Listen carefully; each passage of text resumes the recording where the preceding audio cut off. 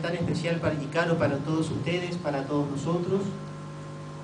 por el eterno descanso de nuestros militares, nuestros héroes en Malvinas y nuestros grandes militares que han entregado todo por, por defensa de nuestra patria, para que nosotros hoy podamos estar aquí. Entonces nosotros que somos la iglesia peregrina hacia la casa del Padre tenemos esta obligación, este deber moral de rezar por nuestros difuntos, de ofrecer pequeños sacrificios por ellos o grandes sacrificios, ofrecer la jornada de trabajo, ofrecer las incomodidades, ofrecer aquello que está a nuestro alcance para el eterno descanso de ellos.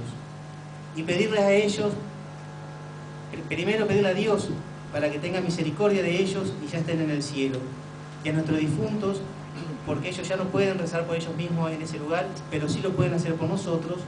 para que desde el cielo sigan intercediendo por cada uno de nosotros, para que algún día gocemos de esa felicidad eterna que nadie nos puede quitar, que es tener a Jesús en nuestras vidas. Entonces, siguiendo las palabras de Jesús, por más que tengamos el viento en contra y se haga cuesta arriba la vida por las circunstancias que nos toca vivir, no desfallecer y sentir la felicidad que nos trae Jesús, la felicidad de tenerlo a Él y de que Él reine en nuestros corazones, como reinó en las vidas de nuestros militares que ya nos han dejado. Felices entonces aquellos que creen y que reciben a Jesús. La felicidad de Jesús no es ausencia de cruz,